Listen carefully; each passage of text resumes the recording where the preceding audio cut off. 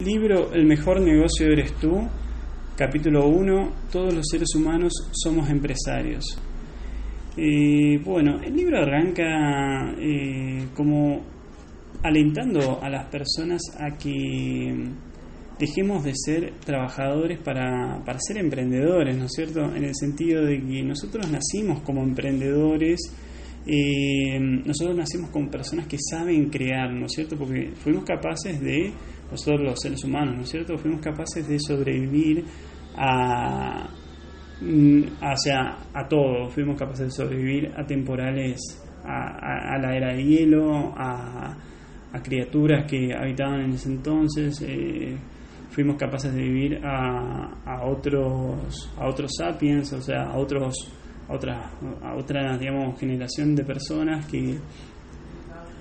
que bueno entre ellas y nosotras nosotros fuimos los que sobrevivimos eh, fuimos fuimos sabiendo cómo conseguir comida para poder sobrevivir subsistir fuimos a aprender eh, supimos aprender cómo convivir con depredadores es decir hemos atravesado tantas contras que eh, realmente somos emprendedores en el sentido emprendedor de buscar la mejor solución como para, para poder salir airoso de esa, de esa situación, ¿no es cierto? Y dice acá el autor de que nos hemos acostumbrado eh, a ser trabajadores a raíz de más o menos desde la revolución industrial a esta parte, digamos como que nos hemos conformado con ser trabajadores, es decir, como que las grandes empresas sean las que eh, dominan el mercado y nosotros simplemente acatamos las órdenes que nos dan nuestro, nuestro empleado, ¿no es cierto?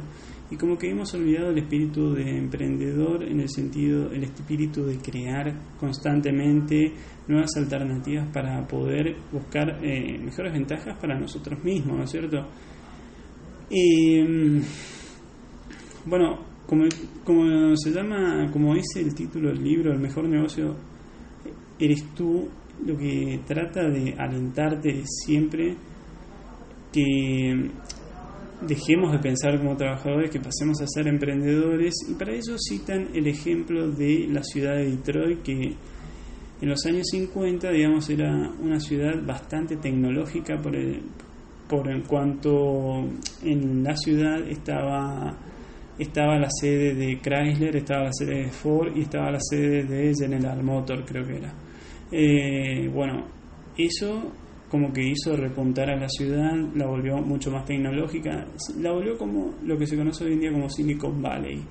Y el tema es que, ¿qué pasó con Detroit? Eh, no pasó nada con la ciudad, en el sentido de lo que pasó fue con estas empresas que dominaban el mercado. Eh, Pasó que no se supieron adaptar a las nuevas demandas de las personas, es decir, las personas exigían por ahí autos más pequeños que consuman menos nafta. Y digamos que estas empresas no supieron atender ese pedido y fueron superadas por empresas, por ejemplo, de Japón, es decir, ahí empezó a ganar terreno la Toyota, todas empresas que venían de, las, de Asia, eh, lo que provocó que estas empresas eh, realmente empiezan a tener caídas muy significantes en, su, en sus patrimonios. Estamos hablando de 85 mil millones de dólares de deuda, o sea, brutales caídas. Eh, por lo cuanto, digamos que terminaron huyendo de Detroit y la dejaron a la ciudad totalmente abandonada y luego la ciudad esa se convirtió como en un nido de robos, en un nido de de poca prosperidad, es decir, ya nadie quería vivir en Detroit porque era un peligro la ciudad, no había inversión, no había supermercado siquiera, así que se convirtió en un ejemplo de lo que no hay que hacer eh, en la vida, ¿no es cierto? Por eso acá lo que te alientan es que vos no te dejes estar en, en la gloria, como sucedió con estas empresas automotrices. Ellas se conformaron con estar en la gloria en su momento y no supieron ver que el mercado estaba cambiando y que era necesario aplicar algunos cambios a, al producto que ellos estaban ofreciendo al mercado, ¿no es cierto? Ellos no supieron ver oportunamente esta situación y obviamente lo que les pasó fue lo que te acabo de contar y, y cayeron como endeudadas totalmente, o sea, desaparecidas prácticamente del mercado. Después refutaron obviamente con la ayuda del gobierno, pero eh, significó una gran caída para estas. Eh, lo que te está queriendo decir, eh, te, te, da este, este ejemplo para que vos no duermas en los laureles cuando dispongas de algún éxito, como que realmente te consideres como en una empresa beta que está constantemente aprendiendo cosas, entender que está constantemente eh, respirando o más bien atendiendo muy bien al mercado, cuáles son las demandas nuevas, cuáles son las nuevas exigencias, cuáles son las nuevas tecnologías. Atende a todas las circunstancias nuevas que se presentan en el mercado porque esa es la forma de mantenerte activo y mantenerte actualizado y la forma en que eh, te sea muy fácil mantenerte actualizado, porque esa es la manera de ser estables en este mercado. Bueno, capítulo 2, crea una ventaja competitiva. Y en este capítulo lo que se alienta es más bien a, resaltar las ventajas competitivas entendidas como la combinación entre lo que es activos, eh, los activos, las aspiraciones y valores y las realidades del mercado, ¿no es cierto? ¿Por qué, te, ¿Por qué te alientan a que vos refuerces lo que es tus ventajas competitivas? Por el hecho de que encontrar a personas que hagan similares funciones hay en todos lados del mundo, es decir, en todos los campos nosotros vamos a encontrar que hay 10.000 personas que pueden cumplir la misma función que hacemos nosotros eh, dispuestas a cumplir con la misma función, incluso más de mayor calidad, pero bueno, hemos sido nosotros los elegidos los que estamos en un trabajo determinado gracias a nuestras ventajas competitivas, ¿no es cierto? Eso fue lo que nosotros eh, nos diferenció de otros en su momento para obtener el trabajo que actualmente gozamos y del cual somos eh, parte, eh, ya sea desde el punto de vista como un empleado o bien como punto de vista desde un socio, ¿no es cierto? Bueno, las ventajas competitivas, como te decía, eh, trata de resaltar lo mejor de vos. Por ejemplo, cuando hablamos de los activos, no solo hablamos del dinero que vos posees, sino también, es decir, hablamos de activos tangibles e intangibles eh, lo tangible es aquello que se puede intercambiar por dinero, ¿no es cierto? Pero lo intangible, que es lo más importante, son las cuestiones que tienen que ver más bien con eh, cómo te ve la gente, es decir, qué, qué actitudes destacan de vos, eh, qué valor vos entregas a otra gente, qué, qué capacidad de resolver problemas tenés, qué, qué marca personal te te has ido desarrollando a lo largo de los años, o sea, todas estas cuestiones que forman parte más bien de los activos intangibles son difíciles de medir monetariamente como los activos tangibles, ¿no? Es decir, yo puedo decirte, bueno, te vendo un aerome a 10 pesos, eh, pero ahora, ¿cómo decirte yo si te vendo, no sé, eh, la posibilidad de que eh, yo pueda llegar a convencer a otras personas de que puedan hacer X cosas con mi sola palabra, es decir, esa capacidad de persuasión yo no la puedo medir en, en, peso, en, dinero, ¿entendés? Entonces, como que eso eh, es bastante complicado medir los activos intangibles en dinero, por eso es lo más importante que nosotros debemos aspirar a desarrollar, o sea, todo el intelecto forma parte del activo eh, no tangible, ¿no es cierto? O intangible, como lo quieras llamar. Bueno, en cuanto a tus aspiraciones y valores, que es como la segunda eh, importancia de las ventajas competitivas, hace referencia a que cuáles son tus aspiraciones en la vida, ¿no? Es decir, vos a qué apuntás, o sea, qué, qué finalidades tenés como persona, no solo como eh, no solo a tus aspiraciones personales en cuanto a formar una familia quizás o, lo que fuera que tengas pensado para desarrollarlo personalmente. Y tus aspiraciones hablan más bien, eh, si vos tenés alguna aspiración, por ejemplo, a brindar alguna ayuda a algunas personas, es decir, a, encontrar solución a algo específico que pueda ayudar a, muchas personas a justamente a cumplir con algún problema que están teniendo y que no la pueden resolver, ¿no es cierto? Y ese, esas aspiraciones, digamos, son las que nosotros deberíamos tomarlas como referencia a la hora de eh, intentar ponernos a desarrollar algún tipo de activo o de marca personal, ¿no es cierto? Y por último, las realidades del mercado. Las realidades del mercado lo que te indica es que debemos ser conscientes en el mercado en el que estamos. Es decir, nosotros, a ver, podemos diseñar una empresa que sea capaz de eh, vender 10 millones de viromes a todo eh, el sector, pero si estamos frente a una población que llega apenas a medio millón, eh, de nada me va a servir a mí tener 10 millones de, de viromes para vender a ese medio millón, ¿entendés? O sea, el mercado en ese caso no, no condice con nuestras capacidades, es decir, el mercado es muy inferior a nuestra capacidad. Eh, lo mismo si el mercado no está dispuesto a comprarme esa virome, y bueno, entonces de nada a mí me sirve pretender eh, invertir en el desarrollo de viromes porque el mercado no está dispuesto a comprar en este momento esa, ese, esa tecnología en particular, ¿no es cierto? O sea, debemos ser conscientes de la tecnología que se demanda en el mercado y cuáles son las capacidades que este tiene como para poder atender a una posible eh, demanda que pueda llegar a sugerirnos en el futuro ese mismo mercado, ¿no es cierto? Bueno, digamos, eh, una vez que hemos identificado estas tres piezas que conforman las ventajas competitivas, lo, lo, que lo que sigue ahora es tratar de encajar esas tres piezas entre sí. O sea, nosotros podemos tener muy buenos activos, tener muy buenas aspiraciones, pero si no tenemos un mercado que satisfaga eh, nuestras capacidades, de nada nos sirve tener el activo y las aspiraciones, ¿no es cierto? Es decir, debemos siempre tratar de que las tres piezas se desarrollen en forma equivalente y equidistantes, o más bien dicho, en forma contemporánea entre sí, de manera tal de que el desarrollo o el encastre de esas tres piezas se dé eh, al mismo momento y no y no que, digamos, primero se tenga que dar una para luego tener que salir aireosa la otra y luego la otra, ¿entendés? O sea, como que las tres piezas deben desarrollarse al mismo momento y tratar de encastrar entre sí de manera tal de que, digamos, el producto final que nosotros podamos llegar a ofrecer sea realmente algo sólido. Bueno, básicamente hasta acá se habló lo que tiene que ver con este segundo capítulo. Bueno, capítulo 3, el plan para adaptarse.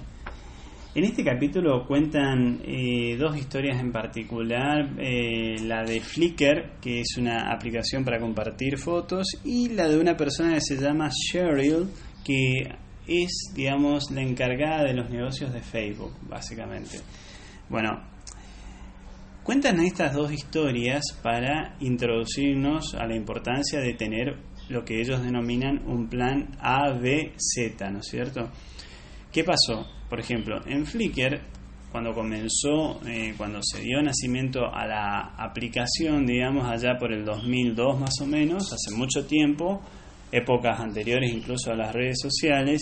eh, digamos que Flickr empezó siendo como un juego para un juego multijugador, es decir, eh, los juegos de aquel entonces, acordate vos que te daban la chance de poder usarlo entre hasta dos personas, ¿no es cierto? O sea, vos podías jugar un jueguito de con hasta dos personas, ¿no es cierto? Bueno, Flickr lo que tenía intencionalmente su plan inicial era ser un juego multijugador, es decir, que puedan jugar más de dos personas en ese juego. Eh, pero además también contemplaba la posibilidad de compartir fotos a través de su chat, ¿no es cierto? Bueno, resulta ser de que las personas que utilizaban la aplicación empezaron a darle más utilidad a la parte de compartir fotos que al juego en sí, ¿no es cierto? Eh, el juego se llamaba Game Never Ending, o sea, el, juego que nunca termina, digamos. Eh, bueno, como eh, en este caso, digamos, como una característica particular de, de, la aplicación, que era compartir fotos, que no era la principal función del juego, empezó siendo como la principal mm, característica que los usuarios utilizaban eh, en Flickr, ¿no es cierto? Bueno, se llamaba con otro nombre, Flickr pasó a llamarse después, pero te quiero decir de que lo que inicialmente se tenía pensado para Flickr eh, no se cumplió y se cambió por una actividad secundaria que fue la de compartir fotos, ¿no es cierto? De hecho, sus creadores no son ni siquiera profesionales en fotos, no son ni siquiera saben de fotografía, es gente común y corriente, sin conocimientos en fotografía, pero que digamos que la demanda del mercado los obligó a adaptarse a lo que justamente la demanda del mercado lo solicitaba, ¿no es cierto? Bueno, esta es una historia de las que cuentan en el libro y la otra es la de Cheryl, la, la mujer que había estudiado ciencias económicas y como que,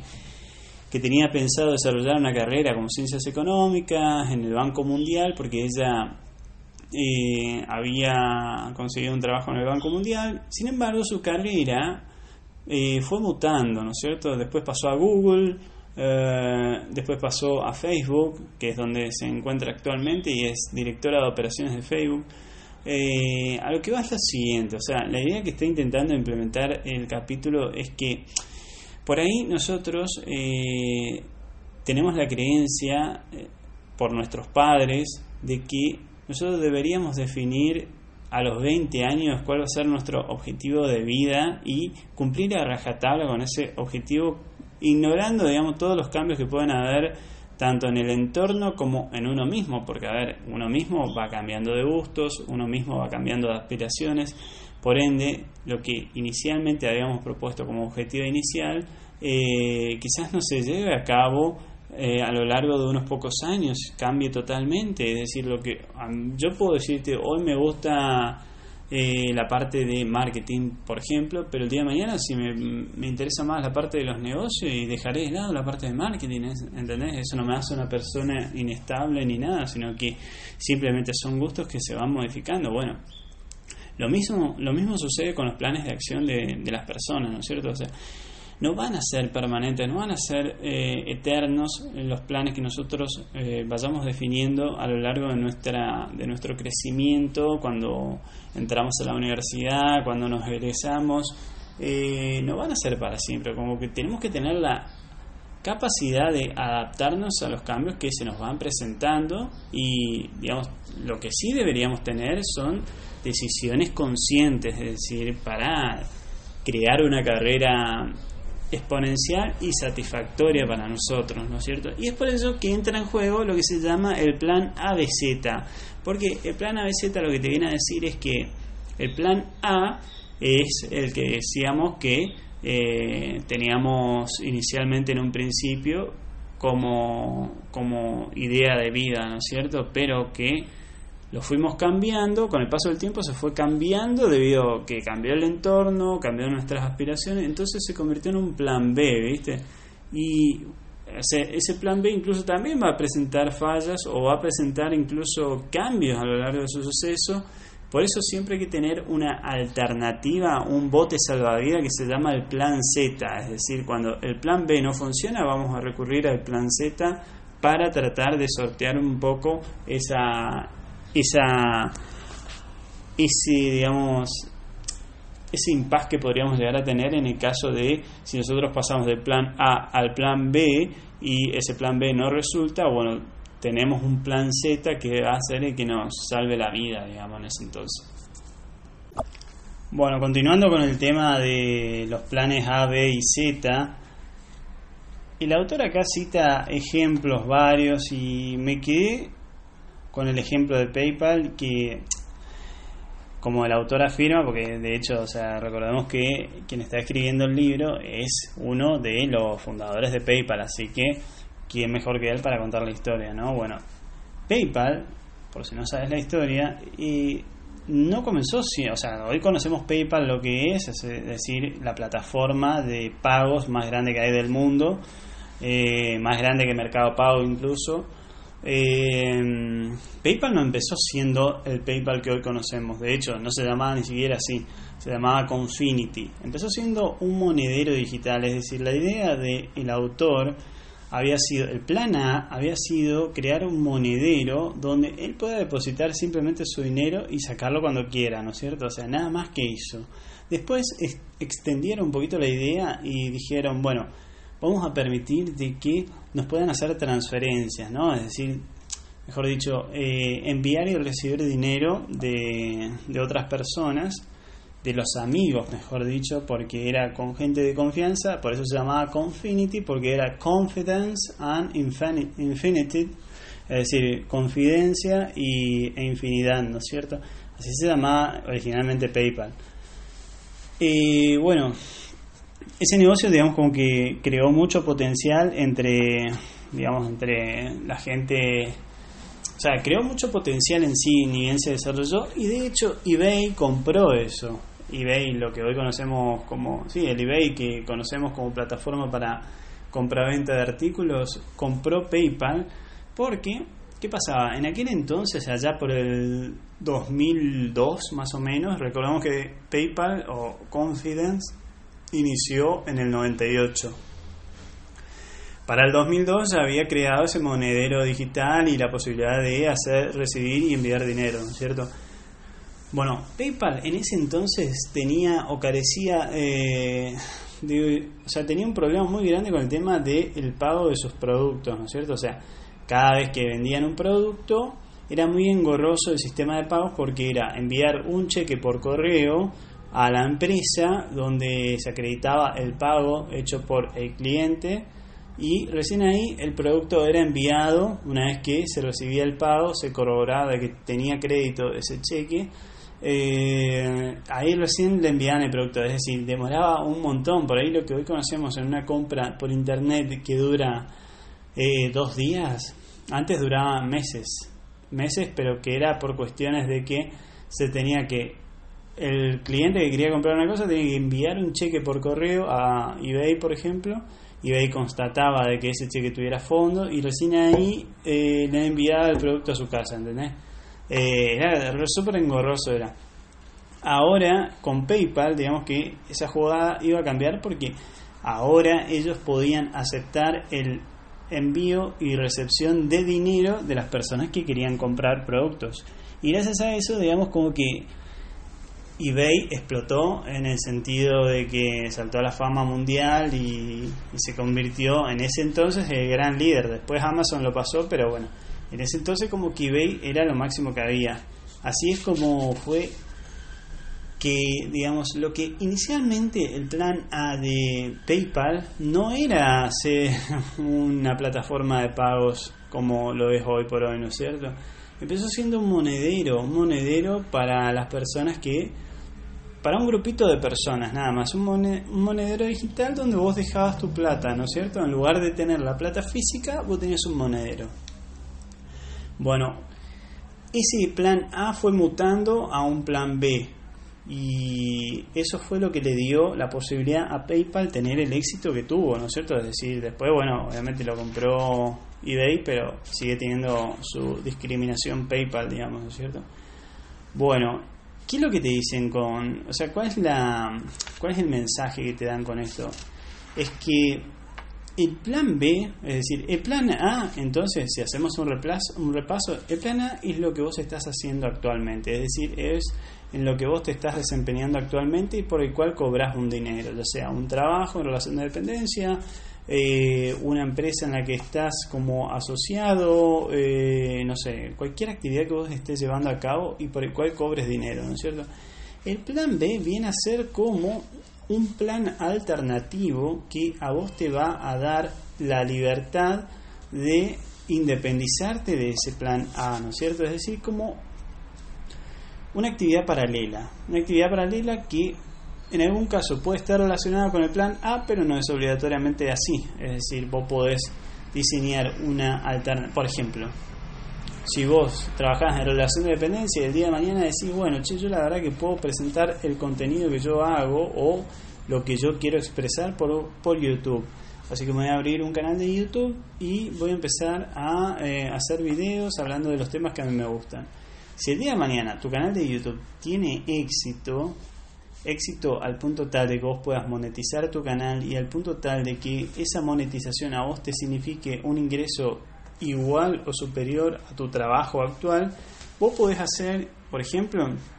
el pasaje del plan A, que es tu trabajo en relación de dependencia, a el plan B, que es tu canal de YouTube. Es decir, vos dejás tu plan A y pasás a realizar tu plan B, que es ahora tu canal de YouTube. Y ese plan B ahora pasa a ser el plan A, porque es lo que vos estás haciendo en ese momento, ¿entendés? O sea, cuando vos conseguiste eh, consolidarte con tu plan B, entonces ahí se transforma nuevamente en el plan A. Ese plan B pasa a ser plan A. Porque supuestamente vos tendrías que ponerte en campaña de crear nuevamente un plan B que a vos te sirva como eh, alternativa el día de mañana cuando ese plan A deje de rendir sus frutos, ¿no es cierto? Y el plan Z viene a ser como un plan en casos de emergencia, un plan de, por ejemplo, sigamos con el ejemplo de la persona que trabajaba en relación de dependencia, pero que abrió su canal de YouTube y decidió cambiar su trabajo por el canal de YouTube, ¿no es cierto? Ponerle que un año después de haber abierto su canal empieza a tener a irle mal en ese canal de YouTube, por el cual no cobra dinero y ahora empieza a tener pérdidas, es decir, no tiene manera de soportar los gastos que él tiene. Su plan Z sería, por ejemplo, utilizar los ahorros que él tenía para en caso de emergencias, ¿no es cierto? Los ahorros que tenía en el banco es lo que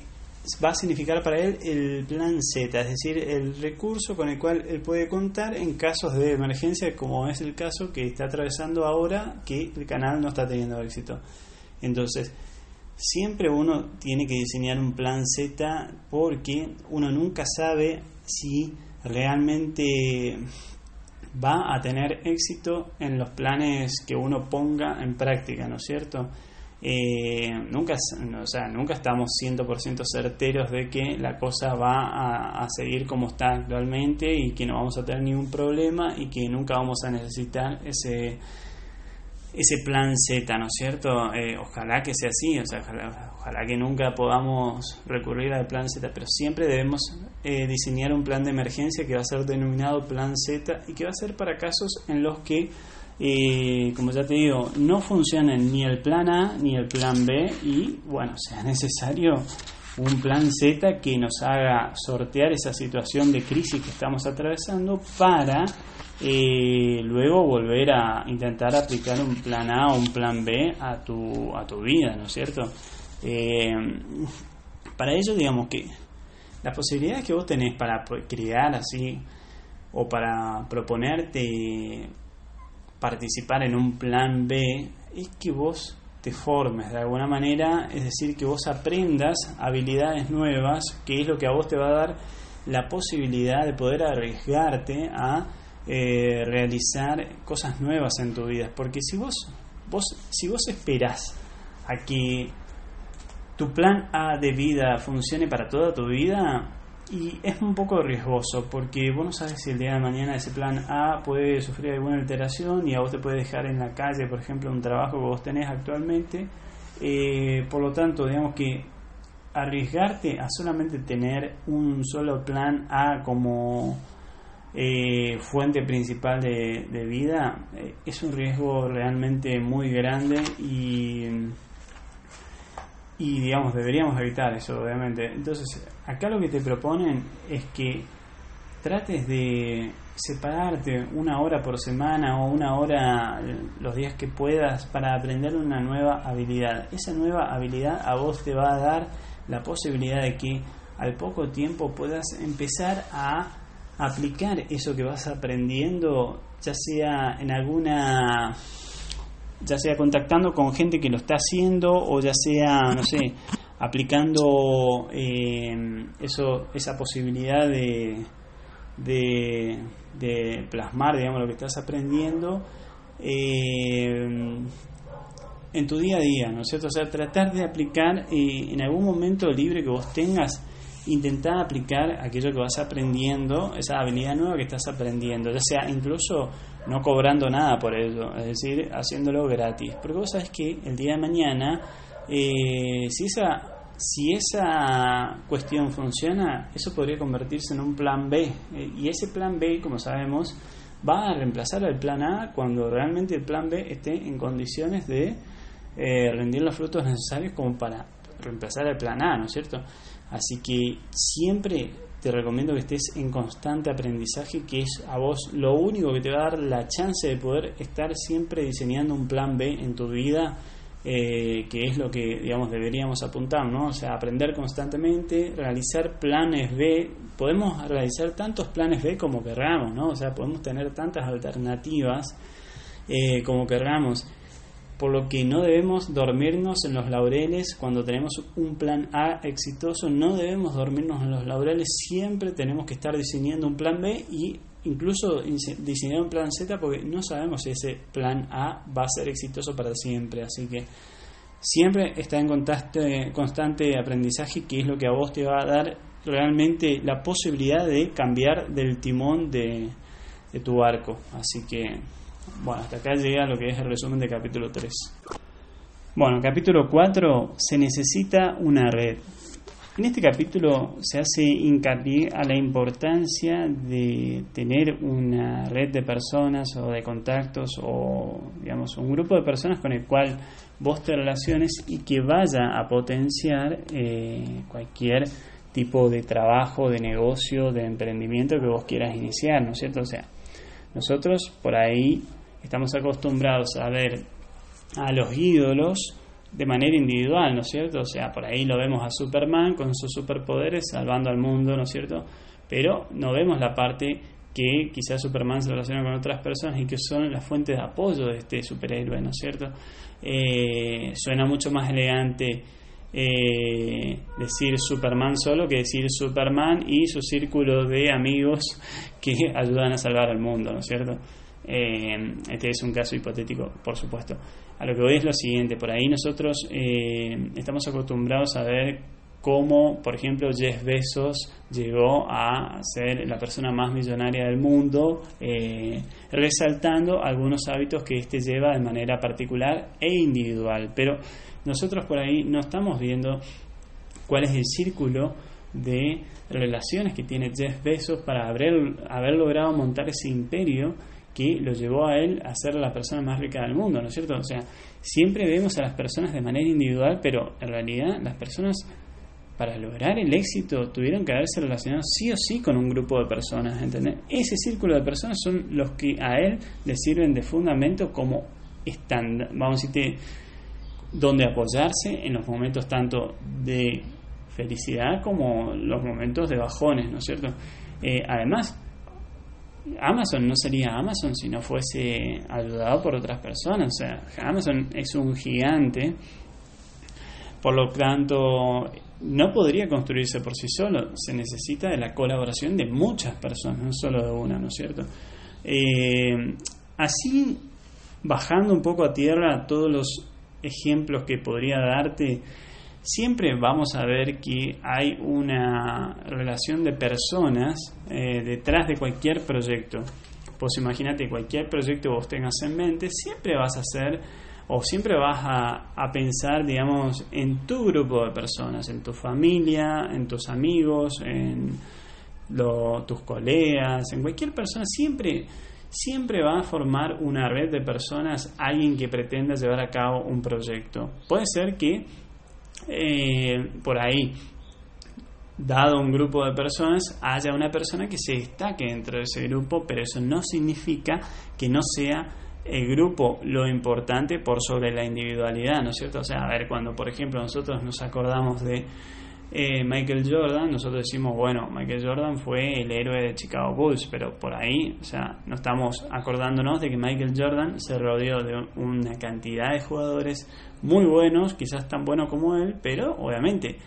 él era quizás el que más resaltaba de todo ese grupo, pero digamos, también hay que reconocer que Michael Jordan se rodeó de un montón de jugadores que, además de jugadores técnicos, psicólogos, todo, todo, todo lo que está involucrado en un equipo de básquet, eh, recordemos que fue el grupo entero lo que a él le permitió ser Michael Jordan, ¿no es cierto? Lo que te quiero decir es que si bien podemos llegar a destacar a una persona dentro de un grupo, es el grupo el que ayuda a que esa persona vaya a florecer, ¿no es cierto? O sea, Steve Jobs no trabajaba solo, Steve Jobs tenía un grupo de personas trabajando con él en Apple, ¿entendés? Así que bueno, obviamente después terminó surgiendo la figura de Steve Jobs como eh, vamos a decirte, el creador de Apple y que llevó adelante un montón de proyectos exitosos que hoy conocemos, ¿no es cierto? Pero digamos que no es una sola persona la que construye el imperio, sino que son un grupo de personas. Y digamos, la importancia de mantener la calidad de relaciones es fundamental, ¿no es cierto? Porque, a ver, hay dos tipos de, de personas para, a la hora de formar relaciones. Están los relacionistas, vamos a decir, las personas que intentan sacar un provecho ante, ante la más mínima sensación de deuda. Por ejemplo, un relacionista lo que hace es eh, forma una relación con alguien y ya inmediatamente está mostrando su hilacha o el interés que tiene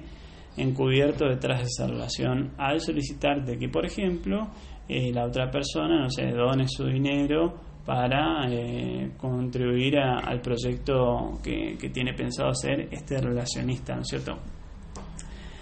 Estas personas así construyen relaciones débiles, no son relaciones sólidas a las que puede llegar a aspirar un relacionista. O sea, a él le interesa tener mucha gente en su, en su red de contactos justamente para poder pedir, manguear el día de mañana cuando él tenga la necesidad. Bueno, y después están aquellos que construyen relaciones más sólidas, aquellos que eh, sin importar eh, si han brindado eh, más ayuda a otras personas, jamás van a sacar a relucir la, che, me debes un, un favor porque yo el otro día te te di un favor, ¿viste? O sea, no, no van a sacar a relucir, digamos, sus deudas y sus créditos, ¿no es cierto? En cuanto a favores cumplidos y favores adeudados. Son personas que lo hacen porque entienden de que si gana el grupo, gana, ganan ellos también. Así que estas son el tipo de personas con, que construyen relaciones más sólidas, ¿no es cierto? Y son relaciones muchísimo más duraderas. Y se estima que en la vida uno eh, llega a relacionarse con ocho personas con las cuales uno puede llegar a construir un vínculo fuerte, ya sea desde el plano personal, plano profesional, eh, de cualquier tipo de plano. Bueno, con ocho personas es más o menos lo que una persona es capaz de, de mantener así un vínculo estrecho para formar eh, vínculos duraderos, ¿no es cierto? Sólidos, no, no vínculos débiles como lo hace un relacionista. Bueno, la segunda parte de este capítulo 4 de Se necesita una red habla más bien, digamos, de cómo son los lazos que nosotros, o mejor dicho, cómo se conforma la red de relaciones con las personas que en general toda persona tiene, ¿no es cierto? O sea, por ahí nosotros, eh, si alguna vez leímos lo que es el número de Dunbar, el número de Dunbar viene a ser como el número posible de personas que podemos relacionarnos a lo largo de nuestras vidas. Que este número se aproxima a 150 personas. Ese vendría a ser como el número de personas con el cual nosotros vamos a mantener una red medianamente activa de relaciones eh, con personas, ¿no es cierto? ¿Qué pasa? Esta definición fue hecha muchísimo tiempo atrás, mucho antes de la aparición de Internet, eh, por ende mucho antes de la aparición de todas las redes sociales que hoy conocemos. Hoy con las redes sociales que conocemos, ese número se multiplicó a niveles grandísimos. Porque, digamos que, a ver, en ese número de 150 personas vos tenías lazos directos o fuertes, que son las personas con las cuales vos te relacionás. Tenés lazos débiles, personas a las que quizás eh, no ves muy de seguido, pero hay un mínimo trato. Y conocidos, que son, digamos, las personas con las que menos frecuencias tenés, ¿no es cierto? Menos, eh, menos visibilizás, ¿no es cierto?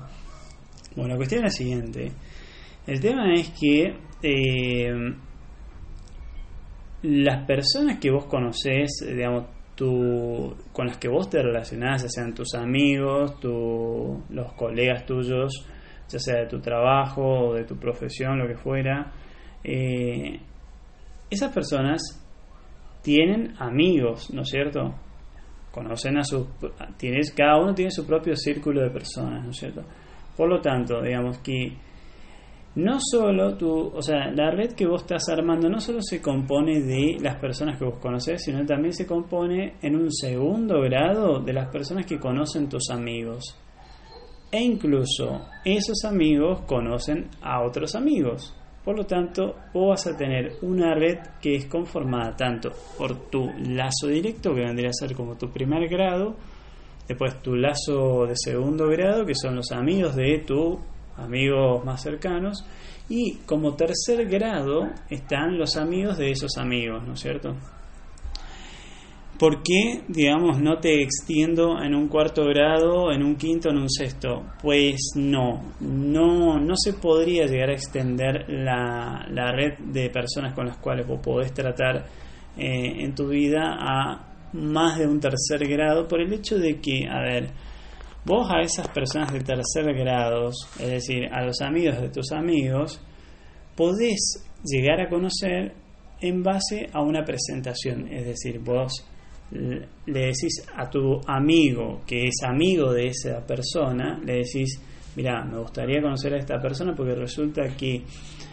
esta persona trabaja en un sector en el cual yo estoy trabajando y yo encontré una solución en algo que quizás a él le pueda llegar a ayudar, ¿no es cierto? Bueno, si vos te presentás de esta manera a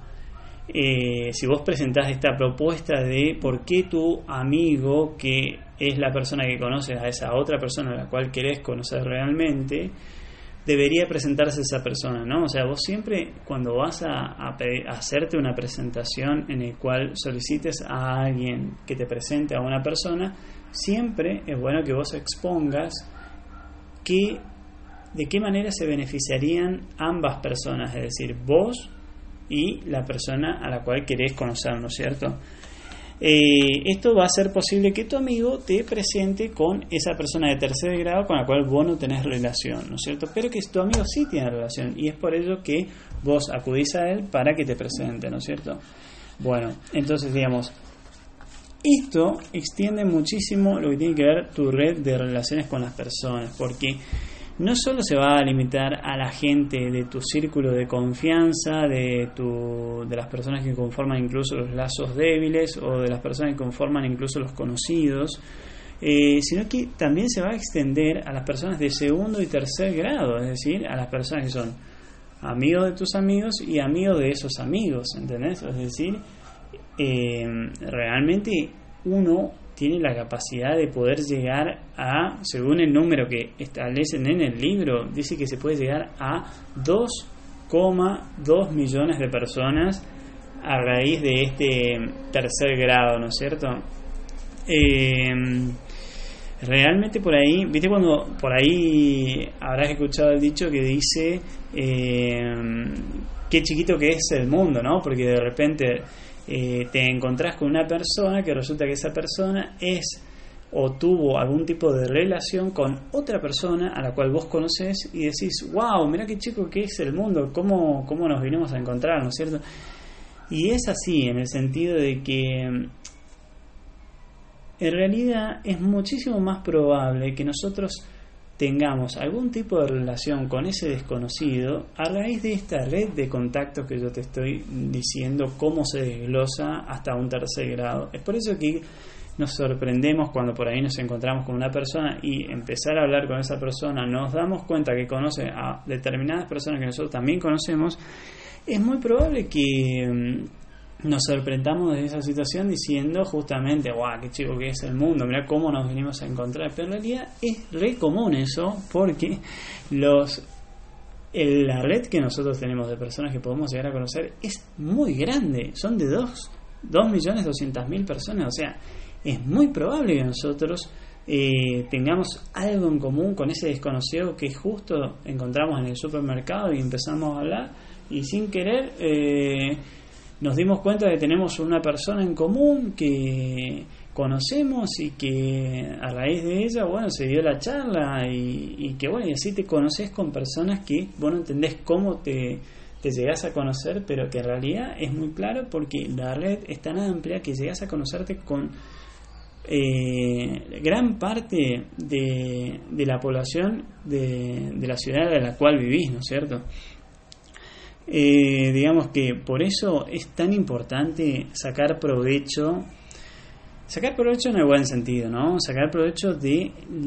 las amistades de tus amistades porque es muy probable que alguien esté necesitando aquello que vos podés ofrecer, ¿entendés? Entonces, la estrategia ahora va a ser cómo presentarte vos ante esos desconocidos, ¿no? Porque, a ver, vos no te podés presentar ante una persona de tercer grado diciendo, hola, yo soy amigo de fulano de tal, eh, necesito un trabajo eh, en tu empresa porque yo me quedé sin trabajo. Eh, digamos, no te puedes presentar de esa manera porque obviamente que tu propuesta no va a seducir a nadie y por ende vas a quedar como calificado como más bien presuntuoso o bien un pesado, ¿viste? entonces, digamos, tu estrategia debe ser la presentación, porque es ahí donde vos vas a lograr que alguien de tu confianza te presente a alguien que es de su confianza, ¿entendés? Y es allí donde vos vas a proponer a esa persona aquello que realmente querés ofrecer, ¿no es cierto? Entonces, la premisa que acá brindan en el libro es que vos eh, no, no exijas nada a cambio como suele darse cuando uno ponele, cumple un favor a alguien y por ahí vos ves en el balance y decís, bueno, che, yo tengo un favor de más, es decir, vos me debes un favor porque yo te hice este favor, ¿no es cierto? Es decir, no estés con ese tipo de especulación tratando de sacar de los demás un favor porque no lo vas a conseguir. Cuando vos conoces a alguien que es poderoso, intenta eh, brindar beneficios a esas personas. No, no estamos hablando de que vos regales cosas materiales, eh, no, no. Eh, brindarle beneficio puede ser, por ejemplo, brindarle una información que la tenés vos y que él no la tiene y que a él le puede ayudar mucho, ¿entendés? Ese tipo de cosas son muy bien valoradas por las personas que son poderosas, es decir, por las personas que pueden llegar a influir en lo que vos pretendés obtener, ¿no es cierto? Esa persona, una vez que percibe tu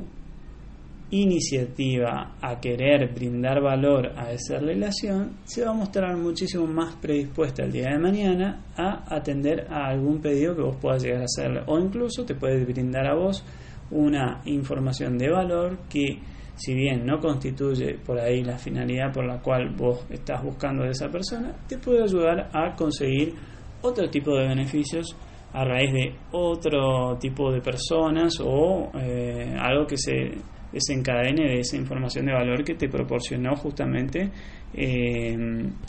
esta persona poderosa, ¿no es cierto? O sea, cuando nosotros nos acerquemos a alguien no debemos eh, hacerlo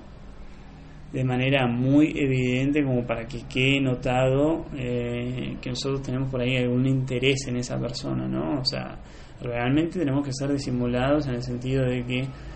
eh, debemos ofrecer valor a, esa persona poderosa y, y no esperar nada a cambio, ¿no es cierto? O sea, tratar de no ir con ese objetivo en mente porque no vamos a conseguir absolutamente nada. Y hay una,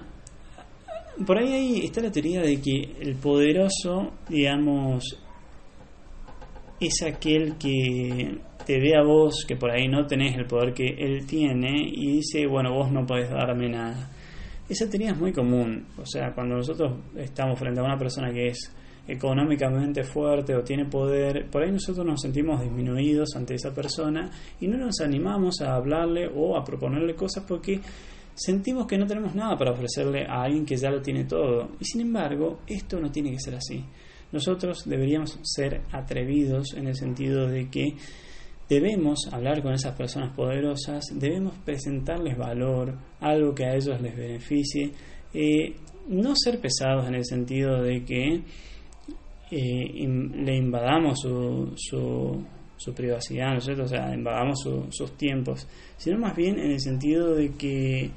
tratemos de proponer algún tipo de valor para que esa persona pueda ver que realmente puede esperar de nosotros algo eh, por el cual beneficiarse, ¿no es cierto? Eh, beneficiarse no, en el sentido económico, sino más bien el, beneficiarse en cualquier aspecto, ¿no es cierto? Así que mm, cuando estemos frente a personas poderosas, intentemos ser originales en nuestra presentación o en la manera que nosotros le otorgamos valor a estas personas, porque obviamente cosas materiales estas personas no van a necesitar porque las pueden obtener muy fácilmente. Sin embargo,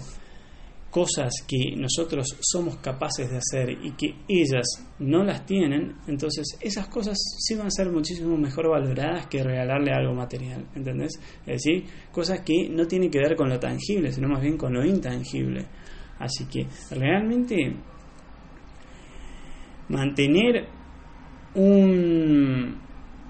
una red de contactos sólida y mantenerla aceitada en el tiempo, es decir, mantener, es como una planta, ¿no es cierto? Hay que regarla, hay que mantener a esa red de contactos para que con el tiempo vaya perdurando. Es la base fundamental de que para que vos puedas llegar a, a tener éxito en tu carrera, en tu proyecto, en lo que vos aspires llegar a obtener y que hoy por hoy por ahí no tenés el recurso suficiente, pero que eh, empezás a tejer tus contactos y te das cuenta de que puedes llegar a ciertas personas que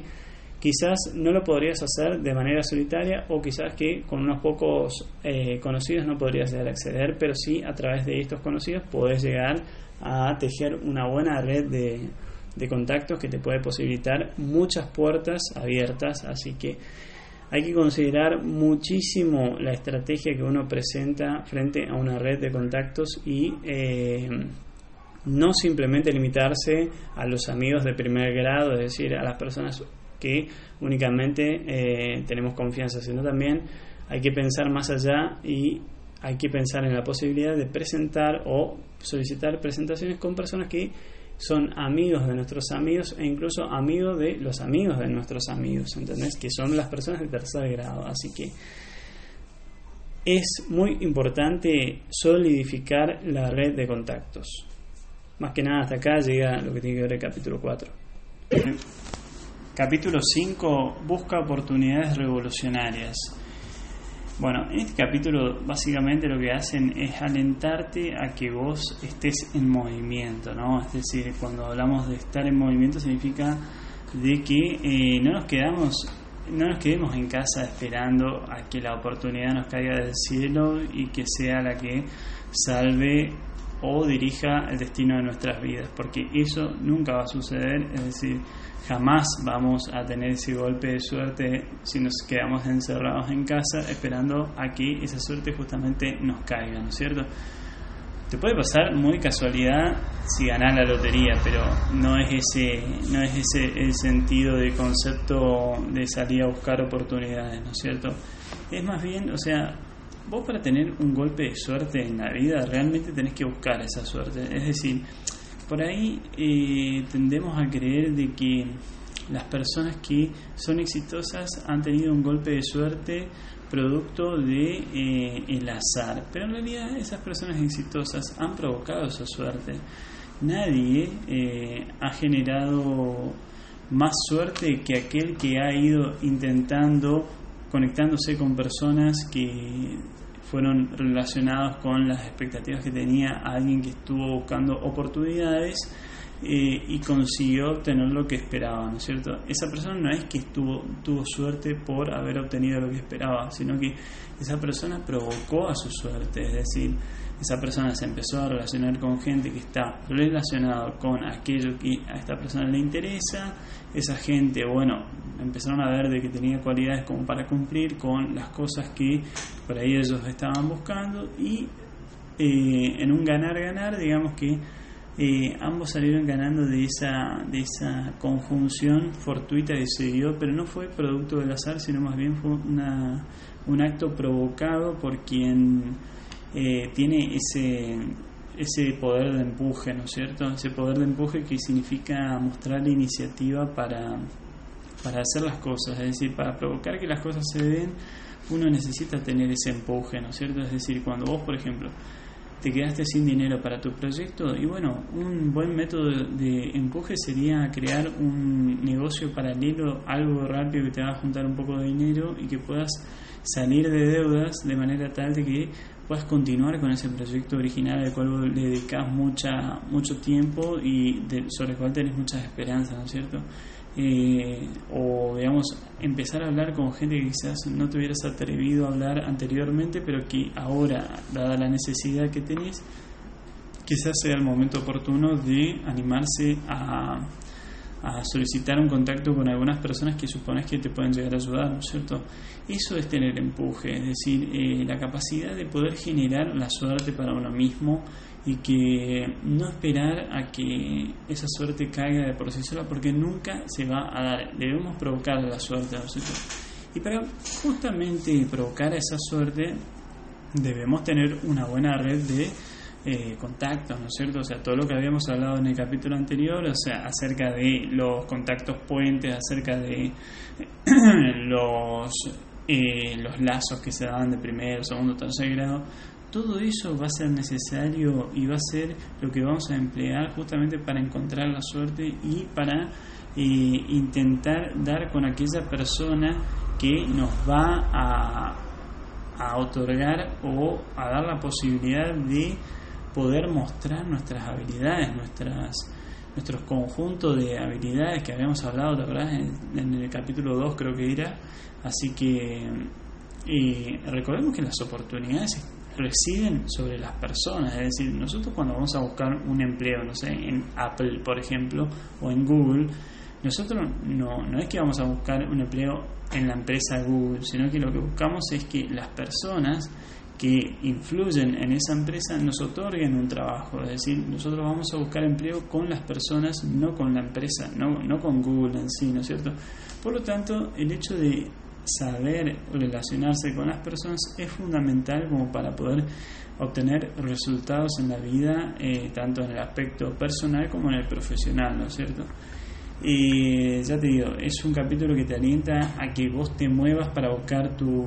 tu propia oportunidad porque nadie te la va a conceder estando desde tu casa o eh, trabajando a, a, oscuras, es decir, sin mostrar tu proyecto, sin, sin presentárselo a nadie, eh, aquello que haces, porque, bueno, justo pasó un camión. Eh, digamos que dar a conocer lo que vos estás haciendo es la mejor manera de promocionarte y es la mejor manera de que vos puedas dar con aquellas personas que justamente están buscando lo que vos estás ofreciendo, ¿entendés? Porque si vos no, si, digamos, si vos sos un vendedor y no mostrás tu producto, no vas a conseguir un comprador de la nada, ¿entendés? O sea, vos tenés que ser un buen promocionador, o sea, tenés que ser un buen vendedor de lo que estás intentando colocar en el mercado para justamente encontrar aquellos demandantes de eso que vos estás intentando incorporar en el mercado, ¿no es cierto? Así que es un capítulo que alienta a la acción, es decir, que está bien estudiar, pero eh, está bueno también empezar a aplicar aquellos conocimientos, ¿no es cierto? O sea, formarse está bueno, está muy bueno, es, es la mejor recomendación que podemos hacer a las personas que se formen constantemente, pero con la sola formación no alcanzamos a, a, a, plasmar o a efectivizar el proyecto que tenemos en mente. Debemos aplicarlo y para eso debemos contactarnos con las personas adecuadas y para eso vamos a tener prueba y error eh, conociendo personas que por ahí eh, no puedan llegar a influir de ninguna manera, pero por ahí podemos conocer a otras personas que sí puedan llegar a influir y son estas las que van a marcar la diferencia en nuestra vida profesional. Así que siempre tenemos que estar buscando las personas adecuadas como para poder, y ya te digo, eh, encontrar nuestra propia suerte y que no sea una mera casualidad. Bueno, capítulo 6. Asume riesgos inteligentes. Y mm, en este capítulo se habla un poco de los riesgos que hay cuando uno toma decisiones, ¿no es cierto? vamos a decirte, en toda decisión que nosotros tomamos, ya sea personal, profesional, económica, lo que fuere, siempre hay envuelto un riesgo, es decir, nada nos asegura de que eh, las decisiones que tomamos sean 100% seguras y que el resultado que obtengamos de esas decisiones que tomamos sean el que realmente esperamos, ¿no es cierto? Detrás de toda decisión siempre hay una cuota de riesgos para la cual deberíamos estar preparados, ¿no? Es decir, nosotros somos conscientes de que hay decisiones que son más arriesgadas que otras, pero el tema es que a veces tendemos a sobrevalorar lo que es el riesgo con lo que es la incertidumbre, ¿no es cierto? Muchas veces tendemos a imaginar como el riesgo o vemos riesgo donde no lo hay y simplemente hay una pequeña incertidumbre, ¿no es cierto? O sea, siendo la incertidumbre como una cuota menor a, al riesgo que por ahí potencialmente nos creamos mentalmente, ¿no? Eh, en este sentido lo que está diciendo es que tratemos de analizar bien la situación antes de tomarla, antes de ejecutar la decisión, mejor dicho, porque mm, a veces enfrentarnos a un riesgo elevado te va a traer una, una oportunidad eh, que quizás no lo tenías planeado y es lo que te va a diferenciar con otros, ¿no es cierto? Eh, vamos a, ver, pasando un poco limpio sería, lo que te está diciendo es que vos te tomes riesgos inteligentes, es decir, por ejemplo, ah, vamos a hacer un ejemplo bien básico. Cuando uno toma un avión para trasladarse de un punto a otro punto, hay un riesgo de que ese avión tenga un accidente, por ende nosotros perdamos la vida en ese accidente. Eh, pero ¿qué pasa? El riesgo a tomar un avión hoy por hoy es mínimo, es realmente ínfimo, muchísimo menor de lo que por ahí tenemos presente en nuestras cabezas, ¿no es cierto? Y la ventaja que hay de tomar un avión, que es trasladarnos de un punto a otro en, en unas pocas horas, lo cual significaría varios días en auto, por ejemplo, y un riesgo muchísimo mayor ir en auto que ir en avión. Es decir, el beneficio por sobre el riesgo es mucho más alto, ¿entendés? Esto sería un riesgo inteligente. Bueno, eso es lo que uno debe detectar tanto en la vida personal como en la profesional, es decir, asumir riesgos que sean inteligentes. Y la idea de riesgo siempre la tenemos que tener presente en nuestra cabeza. Incluso nosotros debemos buscar el riesgo, porque si no, el riesgo nos encuentra a nosotros. Y es mejor que nosotros busquemos el riesgo, es decir, que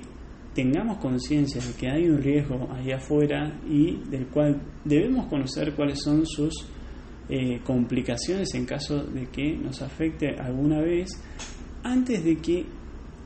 nosotros esperemos conservados en nuestras casas, en nuestros trabajos y que el riesgo nos caiga de una y nosotros tengamos que aprender a convivir con ese riesgo eh, sin ninguna experiencia, ¿no es cierto? O sea, nosotros sabemos que hay profesiones o trabajos que son más arriesgados que otros, por ejemplo, es decirte, por lo general las actividades relacionadas con la venta, son actividades que son riesgosas, ¿no es cierto? Porque vos sabés que en un momento eh, puede subir el pico de venta y en otro momento puede bajar. Es decir, las actividades comerciales son actividades riesgosas. En cambio, la actividad que, que ejerce un funcionario público es una actividad estable. Es decir, vos sabes que el tipo va a cobrar el mismo sueldo por la misma función durante años, ¿no es cierto? El tema es el siguiente, a largo plazo, ambas funciones, eh, si vos tuvieras que comparar ambas funciones, ¿cuál, ¿cuál considerarías vos la que es más estable? Por ejemplo, te, voy a, dar un ejemplo para que se entienda por ahí un poco la pregunta. Eh, ponerle que una persona que es freelance, trabaja freelance o de manera independiente, esa persona está todos los días enfrentándose al riesgo de tener que buscar un cliente, de tener que buscar conseguir eh, eh, vamos a decir, de vender su producto, es decir, constantemente está lidiando con el riesgo, todos los días, todos los días lo enfrenta, ¿no es cierto? Por lo tanto, es una persona que en teoría estaría en un contexto de inestabilidad, porque es, es una persona que no se sabe si un día va a vender mucho y si un día va a vender poco, ¿no es cierto? Es lo que consideraríamos un trabajo arriesgado, ¿no es cierto? En el corto plazo. En cambio, el otro, como yo te dije, cobra un sueldo permanentemente, eh, el mismo sueldo todos los meses, es decir, tiene garantía de que en su plato va a haber comida todos los meses. El tema es el siguiente, el día de mañana, si llega a caer un cisne negro, como lo denomina Nassim Taleb en su libro, que es un acontecimiento que es poco, poco usual de que se dé, pero que se va a dar seguramente en algún momento, cada 10 años, ponerle algún suceso que es externo a nosotros, pero que se va a dar y que va a presentar riesgos a la actividad que nosotros estamos realizando. Lo que te dice es que dentro de 10 años, por ejemplo, ¿quién te crees que va a estar mejor formado para superar ese riesgo que se presente?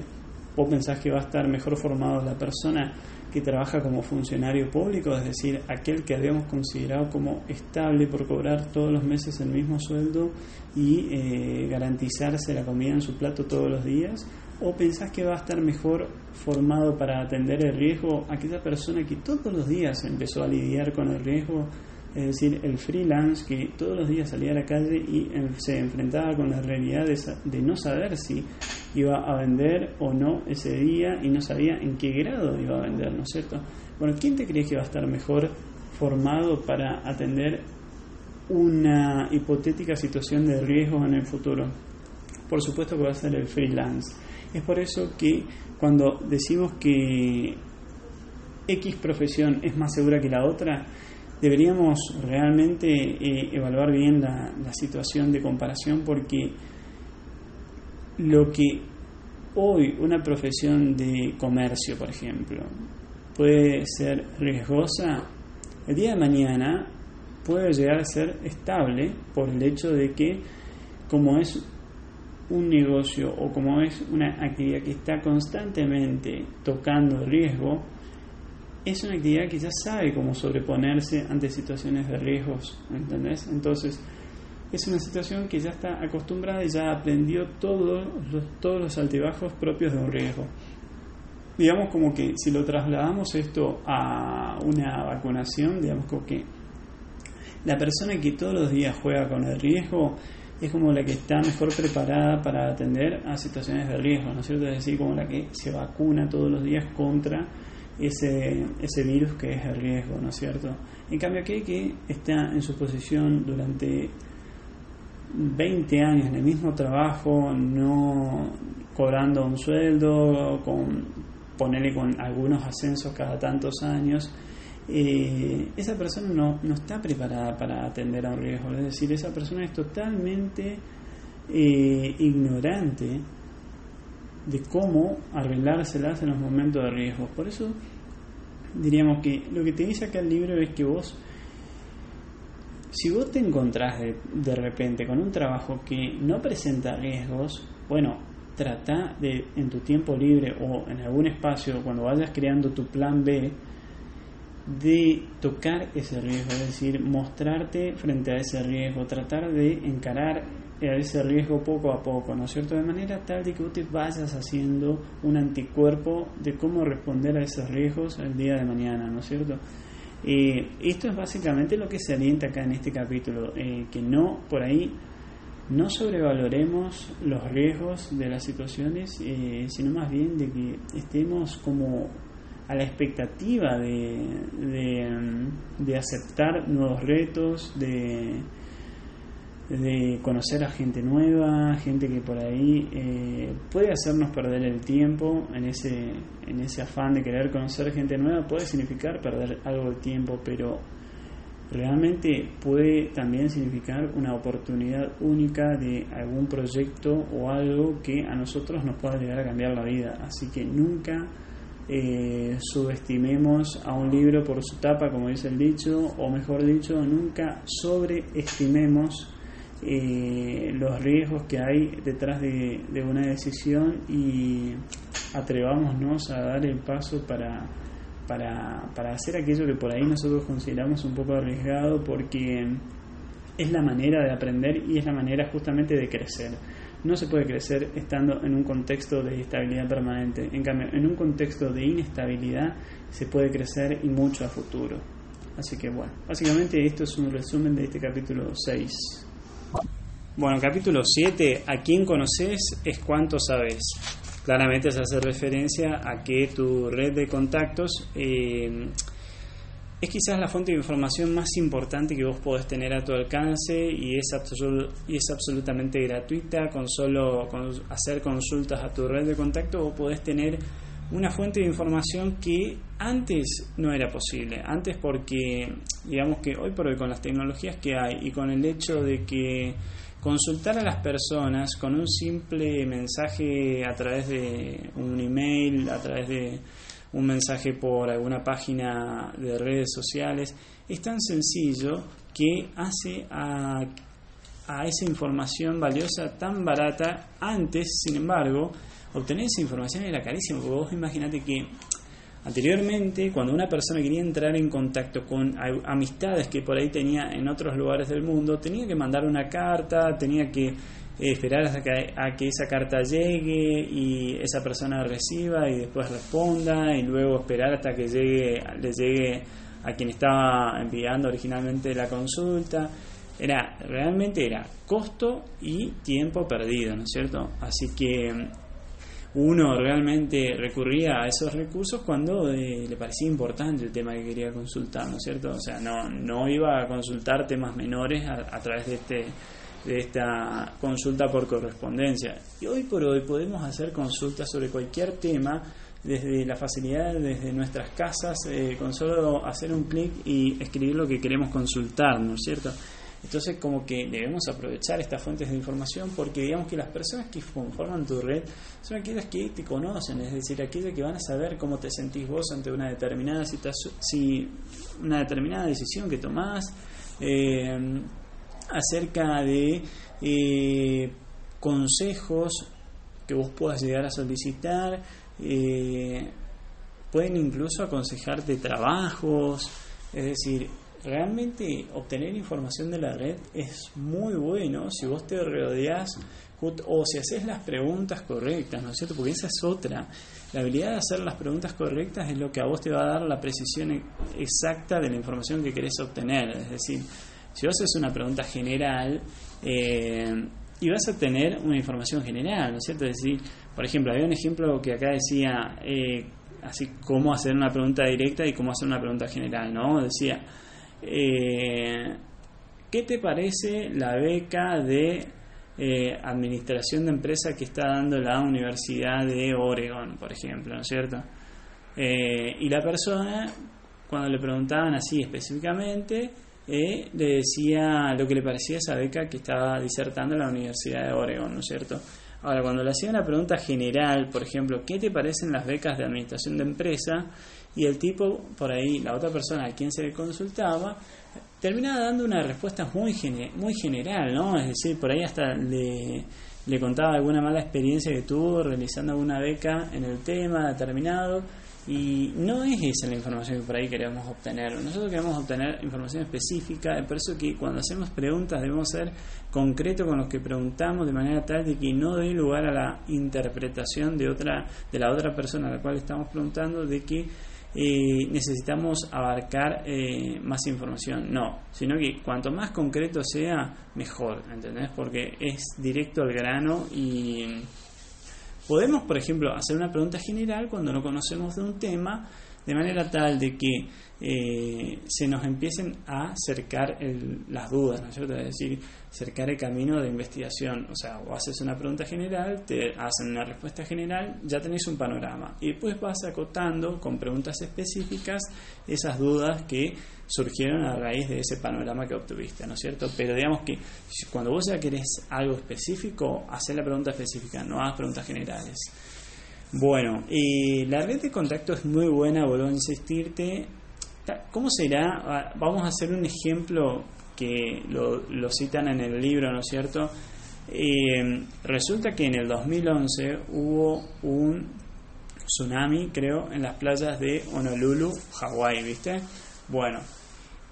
Hawái es una playa, como por ahí eh, algunas habrás escuchado, es una playa muy concurrida para muchas personas que están de vacaciones, ¿no es cierto? En esa época en la que eh, se produjo el tsunami, por supuesto que estaba llena esa isla de Hawái, con, lleno de, de, personas que estaban disfrutando de sus vacaciones, ¿no es cierto? Eh, ¿Qué pasa? Eh, el centro de investigaciones de ahí, del estado de Hawái, no sé muy bien cómo se llama, tiene sensores puestos en varias partes del océano como para determinar cuándo se van provocando formaciones de inicios de tsunami, ¿no es cierto? Eh, ¿Qué pasó? Eh, resulta que días previos a que se produzca el tsunami, empezó a saltar las alarmas en, en estos centros de investigaciones de comportamientos por ahí no habituales que tenía el océano, ¿no es cierto? Entonces, esto le permitió determinar a, a este centro de investigación de que se iba a producir un tsunami en las playas de Honolulu, Hawái, ¿viste? Entonces, digamos, como que todos estos sensores permitieron a la, al centro de investigación tomar la decisión de que evacúen la isla de Honolulu para evitar de que justamente caiga un tsunami eh, y mate a toda la gente que estaba de visita en ese entonces, ¿no es cierto? Bueno, esto traspolado a tu red de contactos, lo que te quiero decir es que vos tenés, vos tenés una red de contacto amplia, ¿no es cierto? O sea, muchas personas. Cada persona no es que te va a dar una información precisa sobre lo que vos querés averiguar. O sea, la persona por ahí te da una información desde su punto de vista y debe ser tomado como lo que es, es decir, como una opinión más, nada más. O sea, no te podés confiar demasiado en una sola opinión, sino que debes tomarla como lo que es, una sola, una sola opinión. Es decir, es un sensor, si trasladamos esto al ejemplo que yo te daba de la, del tsunami, una persona es un sensor. Entonces vos tenés que lograr de que te den opinión varias personas de manera de tener varios sensores, es decir, tenés varias opiniones y que vos a raíz de esas varias opiniones puedas tomar una decisión como más acabada de lo que sería mejor para tu consulta, ¿no es cierto? Es decir, tu red de contactos funcionan como sensores para lo que vos querés averiguar. Vos vas a ir haciendo preguntas a las personas específicas, es decir, personas que están relacionadas con el tema, tampoco no vas a preguntar, eh, no sé, sobre cuál es la situación de, del Banco Mundial a tu familia. Por ahí tu familia no tiene nada que ver con, con el tema de, de, la economía y esos temas, así que de nada sirve preguntarle a ellos, sino que más bien vas a apuntar esas consultas a las personas que están involucradas o que trabajan en bancos o que están involucradas con eh, la función pública de eh, el país donde está ese Banco Mundial que vos querés consultar. Es decir, vos vas a ir cercando tu red de contacto a las personas que están relacionadas con el tema que vos querés averiguar. Bueno, estas personas van a actuar como sensores, como lo que yo te decía con el tema del tsunami. Sensores que te van a dar a vos la opinión y vas a ir cercando esa información cada vez más, más, más, más, más, hasta llegar al punto que vos querés llegar. Cuando llegas ahí es lo que realmente querías obtener, que era la información específica y concreta. Pero para ello tuviste que atravesar varias opiniones, es decir, varios sensores. Eso fue lo que a vos te fue dando la posibilidad de llegar a una conclusión más acertada, más acabada de lo que realmente querías consultar. Así que bueno, esta es la función principal de tu red de contactos, así es como vos tendrías que operar en Internet lo mismo, o sea, eh, cuando parece que LinkedIn, yo no conozco mucho el tema de LinkedIn, pero parece que LinkedIn, cuando vos por ejemplo pones CNN, como decirte, vos vas a ver a las personas que le gusta CNN o que trabajan en CNN hasta un tercer grado. ¿Te acuerdas que estábamos hablando hoy de las de los grados de vinculaciones que hay entre las personas y el tercer grado vendría a ser amigos de tus amigos, ¿entendés? Bueno, eh, LinkedIn, te va, LinkedIn te va a mostrar, por ejemplo, cuáles son esas personas de hasta tercer grado que trabajan en CNN, es decir, vos tenés a tu disposición personas que directamente trabajan en algo grande como una CNN, si vos por ejemplo estás buscando un laburo, vos como periodista o como comunicador social estás buscando un laburo en alguna eh, creadora de contenidos de información como es la CNN, esta información de, personas de hasta tercer grado en tu red de contactos te va a ser de mucha utilidad porque vos, digamos, podés escribirle directamente a esas personas o escribirle a la persona que actúa de de mediador, es decir, la persona que te conoce a vos y la persona que conoce a esa persona. Es decir, esta información es muy valiosa, como que deberíamos aprovechar, eh, deberíamos a ver, obtener información de enciclopedias, libros, Google, Wikipedia está muy bien, pero digamos que la información parcializada, es decir, la información cargada de parcialidad, es decir, desde el punto de vista de una persona específica, de un sector específico, no la vamos a obtener más que de nuestra red de contactos. O sea, nosotros en Google podemos decir eh, buscar un empleo, vamos a decir, no sé, buscar información específica sobre eh, el Banco Mundial pero digamos que quien trabaja en el Banco Mundial me va a dar una información como mucho más parcializada y más específica de lo que yo quiero obtener, ¿entendés? Mucho más que Google, ¿entendés? Entonces, digamos, como que sacar provecho de la red de contactos realmente es lo que a vos te va a dar una ventaja por sobre los demás. Hay que saber usar esa red de contactos y es a lo que se alienta en este capítulo.